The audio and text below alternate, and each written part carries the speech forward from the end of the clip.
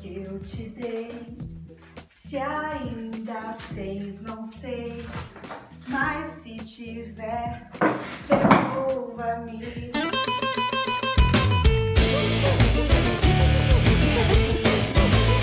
Fala galera! Vocês viram aí a minha decepção, grande decepção, né?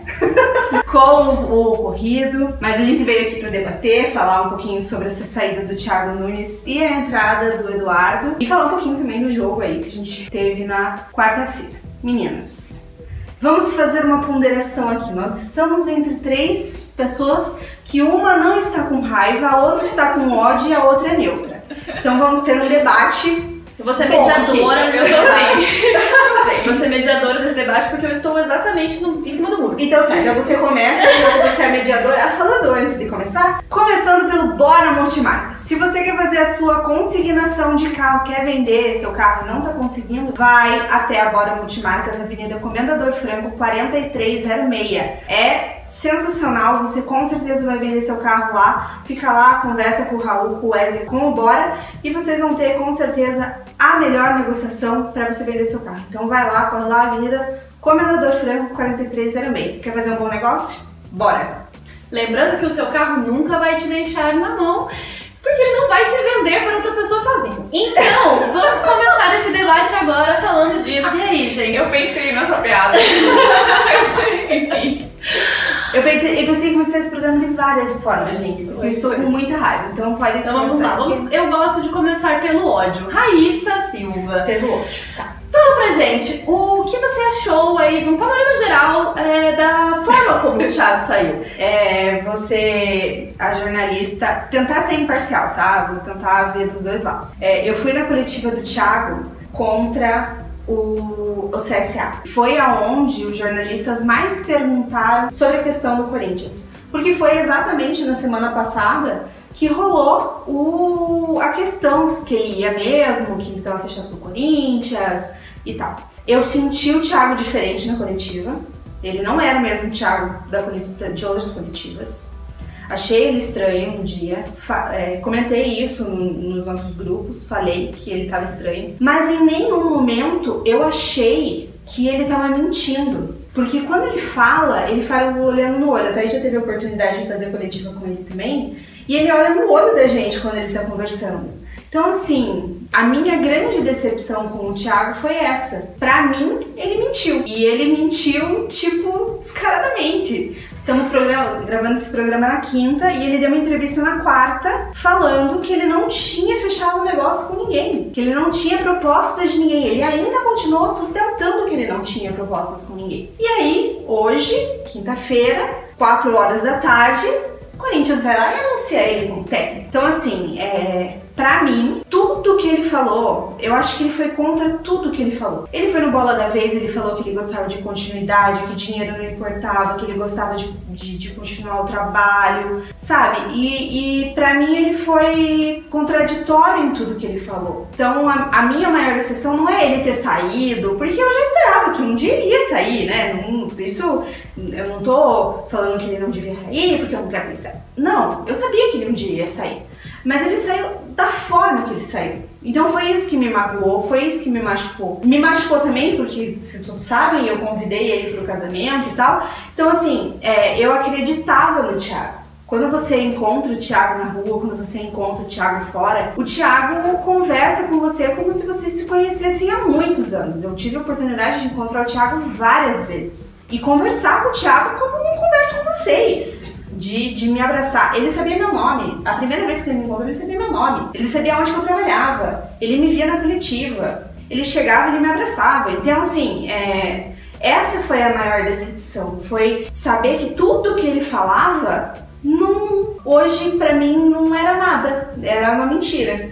Então essa foi a minha maior decepção. A, a, a minha tristeza com ele, a minha decepção com ele é essa. Eu não vou falar, não vou ser hipócrita aqui de falar que eu vou torcer, porque eu não vou torcer. Eu quero que ele não ganhe nada no Corinthians, quero que o Corinthians caia pra segunda divisão ano que vem. Torço muito pela pessoa dele quando ele sair do Corinthians quando ele atingir um nível pra fora, quando ele for pra para Europa, que é o sonho dele, que ele falou isso e ele foi muito claro nisso. Quando ele for pra Europa, quando ele atingir uma seleção brasileira, que eu acho que ele que ele pode, que ele tem potencial para isso, aí sim eu volto a torcer. Mas hoje, enquanto ele estiver em qualquer outro time brasileiro, eu não consigo ter essa. Eu não sou evoluída nessa. Esse Buda, é, essa, essa coisa dentro de mim, não. É porque hoje eu sou desse estou decepcionada com ele. Talvez um dia passe, mas hoje é decepção. E você, Thaís? Bom, eu acho que essa decepção todo mundo sentiu, porque, como eu falei, é do torcedor, paixão, a emoção é do lado do torcedor,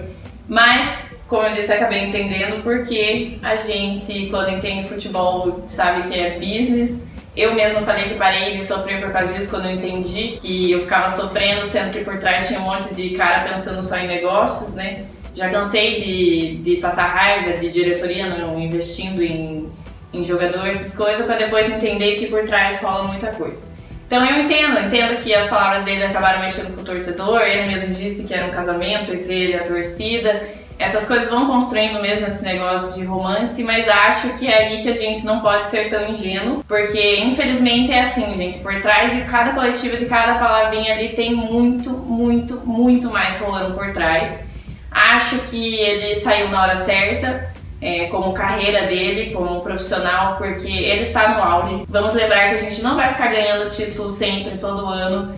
É, o mercado dele é o brasileiro, ele não vai para fora agora. Se tem uma chance dele ir para um clube grande e ganhar mais, é agora, porque ele acabou de ganhar dois, três títulos aí pela gente. Então nessa parte eu acho que ele tá certíssimo e fiquei mal também depois da coletiva que ele deu após, porque eu acho que ali ele poderia ter aberto a verdade e falado assim, ó, tem proposta mesmo, tô aceitando, peço desculpas por tudo, sei lá, fiquei enrolando. Mas, infelizmente, são coisas que acontecem e, na verdade, eu só queria dizer que, gente, a gente vai ter que aprender a superar, porque Final do ano está chegando e a gente vai ter muito mais despedidas, claro, não tão doloridas como essa, não vão afetar tanta gente como essa, mas infelizmente no futebol a gente tem que aprender a superar rápido. Quero fazer um comentário sobre o que você falou. Se o mercado dele é brasileiro, por que ele não saiu pro Inter então? Eu esqueci de falar da continuidade. Eu acho que assim, Continuando, vamos falar de continuidade. Não, não é. É que eu acho que, por exemplo, de continuidade de falar, ah, porque ele tinha Libertadores. Eu acho que ele encerrou o ciclo dele aqui. Ele ganhou é, títulos, ganhou a Copa do Brasil ali. Ele mesmo falou que ele entendeu que ali acabou o trabalho dele. E eu acho que é, eu não sei como é que a gente vai estar para Libertadores ano que vem. Ainda mais que o Atlético, acho que, como a gente disse, ninguém reparou nisso da coletiva, é que o Atlético falou que vai investir a mesma coisa que investiu esse ano para ano que vem. Isso é um problema, gente. Se a gente quer ganhar a Libertadores, a gente tem que, claro, não vou falar para fazer loucuras, mas tem que fazer um pouquinho mais. Acho que no Inter ele acabou não indo por não ser, por estar tão próximo ali. Eu também não sei como é que foi a negociação com o Inter, né? Às vezes ele até ouviu a proposta, mas não, sei lá. Conforme está sendo as coletivas, não, acho que... Então, talvez ele tenha ouvido a proposta, mas não seduziu ele o suficiente, ou ele achou que o Corinthians seria por mais que ele fale que ah, não é pela visibilidade, eu acho que é pela visibilidade sim. Como eu falei ainda, se ele, querendo ou não, todo mundo quer chegar numa seleção brasileira. O não, Corinthians, os últimos sete treinadores da seleção brasileira, quatro foram no Corinthians. Então, assim, ele pode falar que não, mas é uma visibilidade que vai acabar acontecendo. É, e se ele for bem, sei lá, pode acontecer. É, então, acho que tudo isso pesou ali. O Inter também não sei, eu não vou saber o que, que rolou por trás da proposta. Às vezes ele queria, pediu alguma coisa também pra ele, às vezes não quiseram dar, e o Corinthians acabou quiseram dar, como assim, como deu pro espaço para auxiliares, para ele levar para uma equipe. Então eu acho que é isso, a gente nunca vai saber o que rolou por trás de verdade, infelizmente. Tem muita coisa. É, acho que o Atlético, na nota dele, também deixou de pesar o seu lado, porque, ok, memória curta, beleza, mas o Atlético também tem memória curta deixou o cara na CLT por muito tempo, ganhou um título na CLT, passou o final de ano sem saber qual seria o futuro dele, é, para ser como técnico de fato. Então, acho que assim, o rancor dele pode ter vindo aí também um pouquinho. Todo mundo quer, ele quer ser tratado como profissional, como técnico promissor que é. E talvez faltou nessa hora aí o Atlético enxergar um pouquinho mais disso, além de ficar falando do Diniz por muito tempo. Uhum. É, eu estou em cima do muro exatamente por esses motivos e alguns outros, é, eu acho que sim, o fato dele ter sido interino por tanto tempo com certeza pesa nessa hora de tipo, ter gratidão a um clube que não valorizou ele da forma como ele merecia desde o início. É, eu não gostaria que essa saída dele manchasse tudo que ele fez por nós, porque realmente ele foi o melhor técnico da história do Atlético e eu acho que isso não vai mudar. Assim, vai mudar, eu espero que tenham outros muito melhores, mas não nesse momento. Ou É, Libertadores. E assim, o que eu senti da questão dele ter mentido é porque talvez, provavelmente, ele foi muito imaturo nesse momento, é, até por ser um técnico jovem. Porque outros técnicos no lugar dele fariam a mesma coisa e se sairiam muito melhor por ter malícia, por Acho chegar ali faltou na. uma assessoria de imprensa. Faltou uma assessoria de imprensa. Eu sou assessora de imprensa, Thiago. Porque se você se- precisar Não, de é como as, meninas falaram, acho que ele abriu a boca demais. Como ele É. tava ali todo o tempo, dando toda a coletiva, acho que ele achou que precisava dar uma resposta e acabou dando e dando afirmações tão. É, porque eu acho que ele, ele né? deveria ter falado, ter feito um maluco, fingido demência e falado assim: olha, gente, não sei, meu futuro tá indefinido, não tem nada decidido, O Petralha não sei tá doente. o Petralha- Sinceramente, sabe o que eu acho? De verdade, assim, mas óbvio que eu também nunca vou saber, não sei se ele tá mentindo ou não nisso também. Por exemplo, eu acho que ele dar um prazo para o Atlético. Eu acho que o Corinthians estava começando a pressionar ele. Com certeza. Tipo, você Não. precisa nos dar uma resposta. Ele ficou enrolando até o Petralha sair do hospital, porque precisou ficar enrolando, porque não ia ter uma negociação ali sem, Sim. sem pelo menos, né, ouvir o Não, eu acredito que ele já tinha esse contato com o Corinthians há muito tempo e que ele com certeza só iria entrar no Corinthians em 2020. Então não, não tinha essa pressa. Quando o Carilli foi ele em encerrar o contrato aqui. Quando o Carilli, é, esse quando o. Carilli saiu, com certeza o Corinthians meteu a mão no telefone e falou: Cara, eu preciso da tua resposta agora, a gente precisa de um posicionamento agora. E aí ele pressionou a diretoria do Atlético, daí de repente, do nada, ele tava com pressa. Coitado do Petralha, nem voltou direito de alta, já teve que fazer correndo uma reunião com o Thiago. não. Eu, eu imagino o Petralha deitado na cama do hospital falando, "Me- pelo amor de Deus, eu preciso sair do hospital antes." antes que leve meu técnico embora. Amor, Não, mas é, eu é a que- explicação de tantas coletivas, de, da coisa mudar de um dia pro outro, não Mudou, tão rápido. mudou. Então, E foi bem com a demissão do Carilli. Foi essa, foi, é- foi essa a minha decepção, entende? É, não é a mentira nas, coleti- nas últimas coletivas e foi essa pressa, porque virou do nada. Do nada. Tava tudo bem. De repente, do de nada, repente, do sai nada. correndo a gente não, o, o- tem até terça-feira pra decidir. Exatamente. Mas é E- só um aviso, gente. Nem tudo que é dito em coletivo as coisas levem ao pé da letra, tá? É, também. Porque, cara, futebol acontece muita coisa por trás, gente. Muita coisa. Infelizmente mexe com o nosso emocional. Então a gente vai ter que aprender a separar as coisas se não, não quiserem sofrer. né? Exatamente. E outra coisa que eu vejo nesse ponto da nossa revolta, de todos os torcedores, e que eu gosto de frisar, é que assim, gente, amor pelo time e fi- fidelidade ao time, quem tem somos nós torcedores. Quem tem que ter somos nós torcedores. Nunca podemos cobrar esse amor que a gente sente, esse mesmo amor que a gente sente, de um profissional que tá lá pra ganhar dinheiro, que querendo ou não, no final do dia é isso que importa. Então, tanto técnicos quanto craques, é, a gente sempre escuta muito isso, que o cara saiu de um time X pra ir pra um time Y, ah, é um vendido, é um não sei o quê. Cara, ele não vai ter o mesmo amor que você, nunca. Ele não vai ter o mesmo amor pelo clube que você tem, porque você é torcedor. Você Vocês tá querem um exemplo? Adriano. Não foi ali a cria da base do coxa, todo mundo Não, mas é segundo, mas segundo o ti- os torcedores do Coxa, ele não é ídolo. Agora, né, gente? Porque vamos falar sério, porque daí na hora que ele decidiu voltar pro Brasil, É. muitos coxa bran É brancas ficaram decepcionados porque acharam que ele ia voltar para o coxa por amor. Pra vocês perceberem que não, Não tem amor, gente. não E assim, é, é na verdade até bom pra eles, porque, gente, como profissionais, eles não podem ficar se apegando. Fute- jogador muda de time muito A rápido, gente não precisa ir muito longe também. A gente tem o Vinícius de prova. O Vinícius é atleticano, mas quando chegou aqui, né? A gente sabe que, que- o que foi Vinícius. E hoje fala mal do Atlético por fora, já, já escutei coletiva falando mal do Atlético, já vem aqui e briga com todo mundo. Então, assim, É carreira, infelizmente é carreira, acontece muita coisa no meio. E É assim, eu concordo com a Rai no sentido de que ele falou besteira demais. É, nas coletivas. E assim, o que eu, a minha impressão que eu tenho é que ele falou assim: Não, eu tenho interesse em ficar no Atlético. De- entre parênteses no cérebro dele pensando, desde que o Atlético me pague um milhão, sabe? tipo, ele É, ao mesmo tempo que ele falou, ele não completou.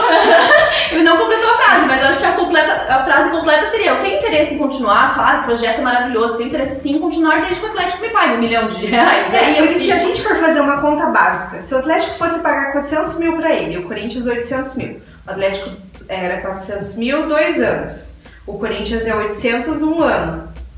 A conta no final, a matemática no final é igual. Não, mas eu sinceramente acho que não foi só pelo dinheiro. É, Não, eu também acho que não. Eu acho que é isso, gente. O ciclo dele se encerrou e eu achava já que ele ia sair final do ano, porque o ciclo se encerrou mesmo. Então acho que ele foi pra aceitar um novo desafio, assim, claro, e ganhar mais visibilidade também. Só É, era a acho que chance dele. Tá, agora tem uma Mas por isso que eu falo, na Paty. última coletiva ele podia ter esclarecido tudo ali. Ou não esclarecido nada, não falava nada. Tipo, Não devia ter feito coletiva. Tiago, lembra, assessora de imprensa, vou te dar uma aula. Quando Mas você não tem o que falar, você não fala. Eu- Você fica quieto. Eu acho que se é pra falar, se é pra falar uma mentira, coisa, pelo menos, ou então ele que chegasse lá e só falasse assim, ah, mesmo que não tivesse arrependido. Fala assim, gente, desculpa a torcida, sei que acho que algumas pessoas interpretaram a mais, é, teve um envolvimento ali um pouquinho mais romântico, emocional, peço desculpas, é, estou pensando na minha carreira, ponto, entendeu? Assim, Agora eu tenho uma pergunta pra vocês duas. Hum.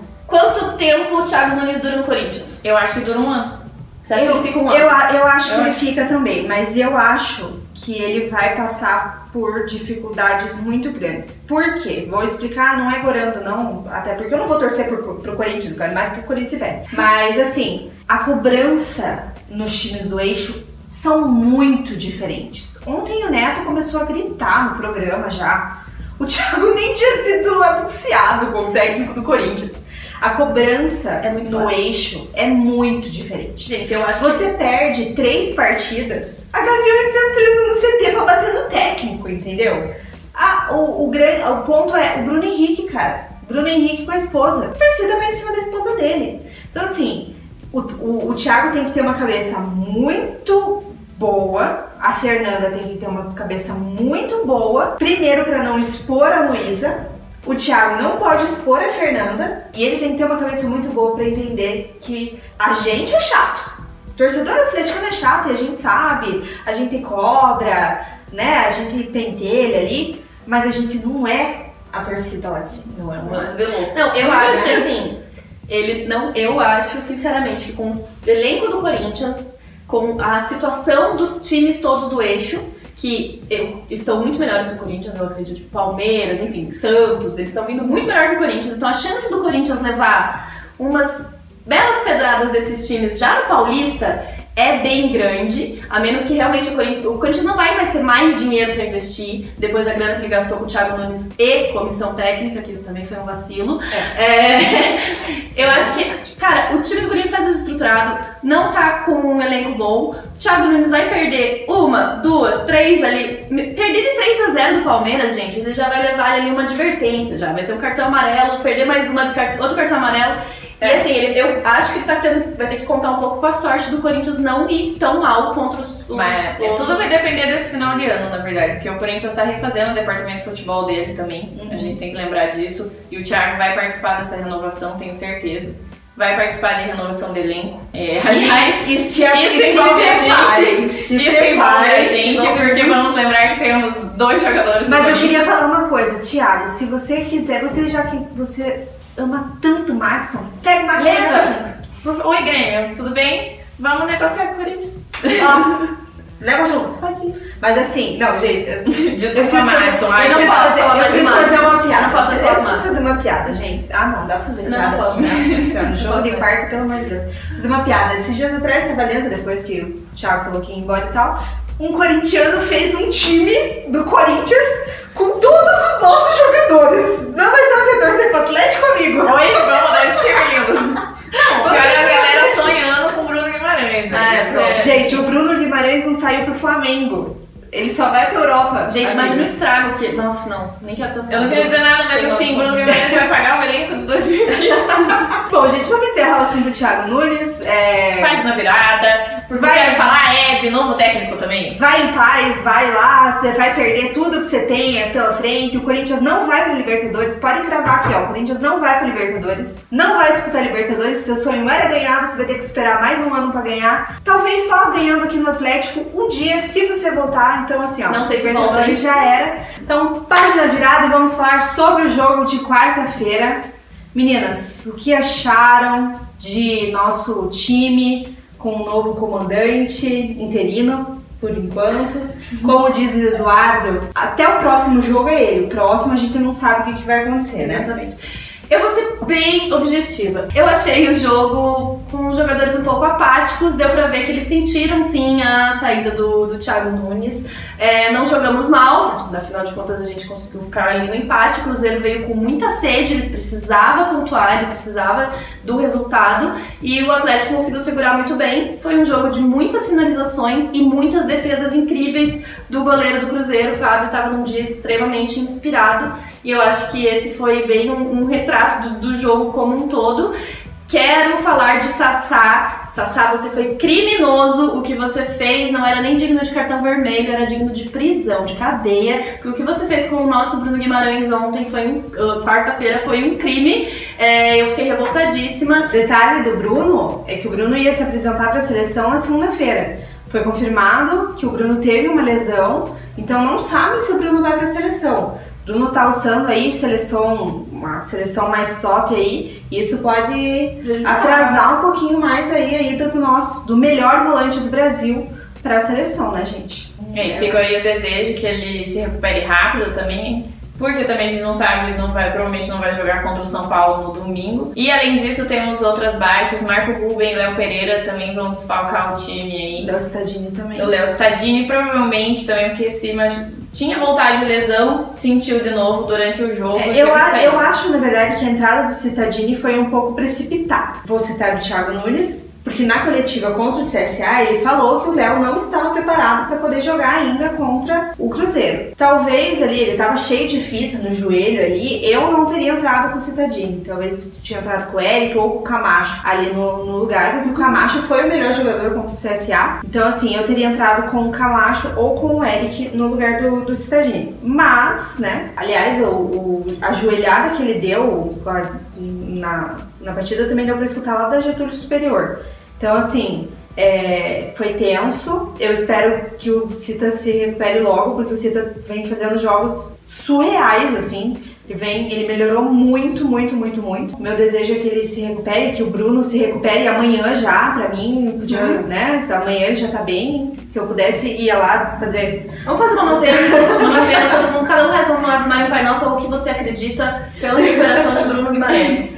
Mas é isso, acabou sendo um jogo aí um pouquinho chato para todo mundo, acho. Como eu falei, eu cheguei com sono, saí com mais sono ainda. Muito porque o Cruzeiro veio fechado. Quando o Sassá foi expulso, se fechou mais ainda. É, o Atlético também, por mais que tenha feito muitas finalizações, não conseguiu marcar. Senti que o time também, não que jogou mal, mas tava faltando alguma coisa a mais. Senti falta de mais individualismo. O Rony estava ali tentando, como sempre, nas decisões erradas, fazer algumas coisas, mas também não estava 100% ele. Sentiu meio apagado, a gente, a gente jogou muito pelas laterais, queria mais presença ali de, de meio para a gente tentar quebrar a marcação. Erramos bastante passe, justamente por eles estarem pressionando a gente, uhum. prontos para jogar em cima do nosso erro.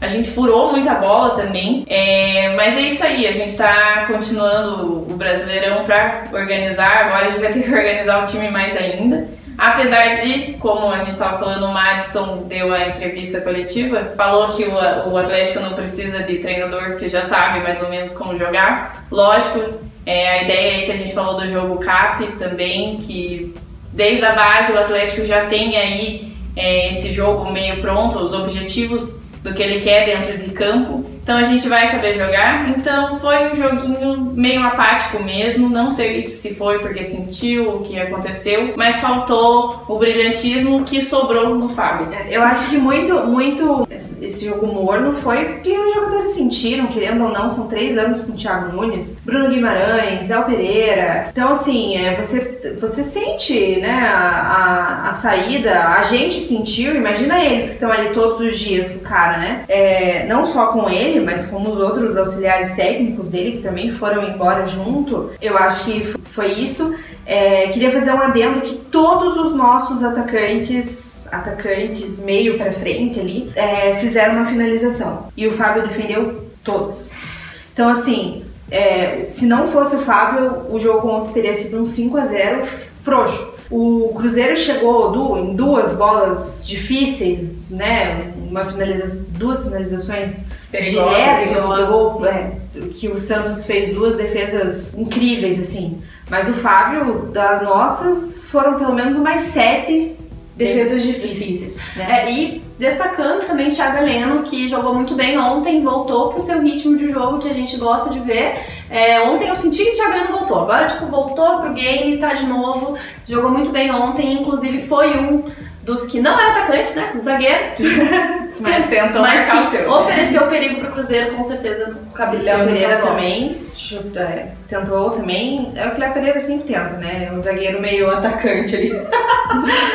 Mas acho que é isso, assim, o jogo foi morno, foi chato, é, nove e meia da noite, tava frio pra caramba na quarta-feira. Acabamos A- a ajudando torcida- o Cruzeiro aí, porque eles É. vieram pra não perder, né? Mas o Cruzeiro ainda está na zona de rebaixamento, porque neste momento o Fluminense está ganhando do São Paulo. São Paulo, exatamente. São É. Paulo que a gente vai enfrentar no domingo. No domingo. Estarei lá no Morumbi, espero trazer sorte, apesar que a Fernanda Vai vai junto, então. ela é a maior zica que tem fora de casa. Inclusive todos esses desfalques aí que a gente tá tendo foi É por causa da Fernanda.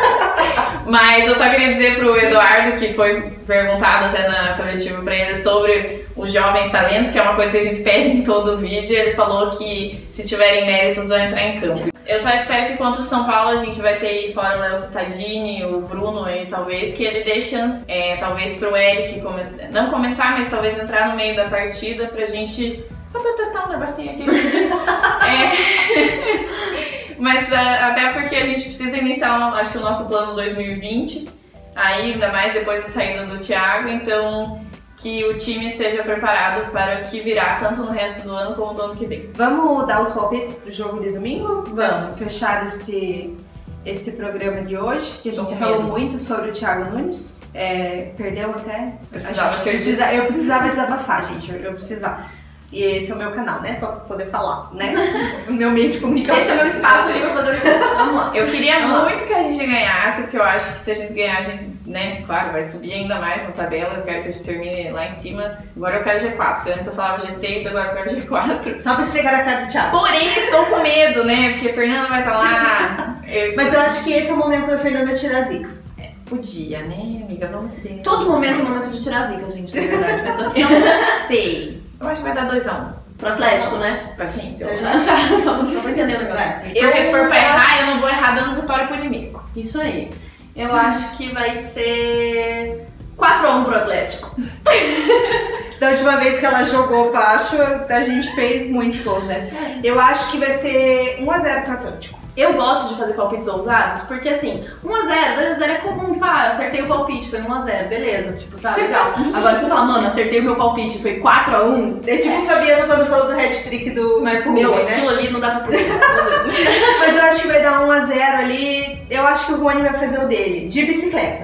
Eu Ah, acho e que eu tá gostei. Aí isso é um palpite que eu Rony de respeito. bicicleta. Esse é o palpite que eu respeito. Se o Rony fizer de bicicleta, ele tem que ganhar uma placa atlética. Atlético, pelo amor de Deus, deixa eu sair do Morumbi Eu vou, comprar, eu, vou comprar, eu vou comprar uma bicicleta pequenininha pro Rony. Se o Rony fizer gol de bicicleta até o fim do campeonato, eu vou Ele comprar uma bicicletinha. Se o Rony fizer um gol de bicicleta, nós três vamos gravar um vídeo andando de bicicleta. Isso, fechado. Essa é a promessa.